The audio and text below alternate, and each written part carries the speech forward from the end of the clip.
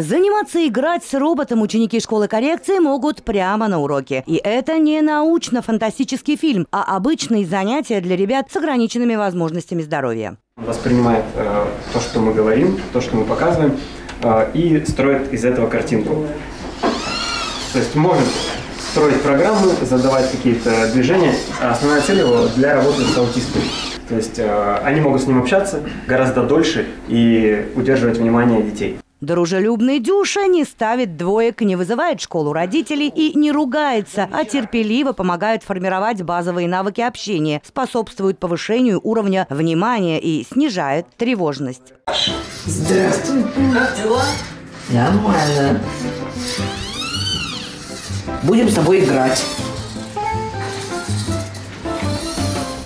Дюша. Да. Смотри, а у меня значок Саша. Ты молодец. Помимо Дюши есть оборудование дополненной реальности. На нем дети оживляют картинки, которые самостоятельно рисуют и разукрашивают.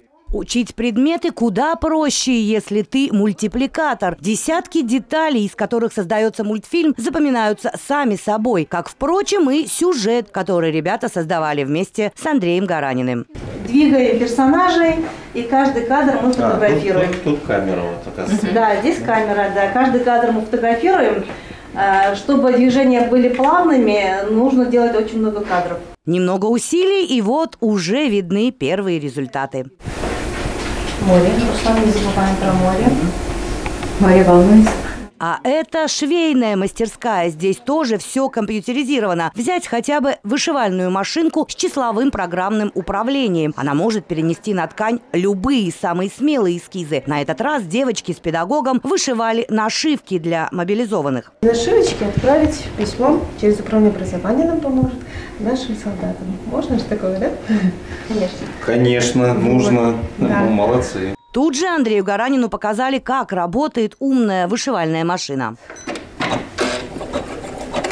Но не только Дюша, мультстудия и швейная мастерская привлекают учеников. Все кабинеты школы коррекции оборудованы по последнему слову техники. Все это помогает найти и развить способности каждого ребенка. Теперь о скучных уроках точно можно забыть. Мы приобрели многофункциональную беговую дорожку, велотренажер и гимнастические мячи с эспандером. Многофункциональная беговая дорожка позволяет увеличи- увеличивать двигательную активность обучающихся.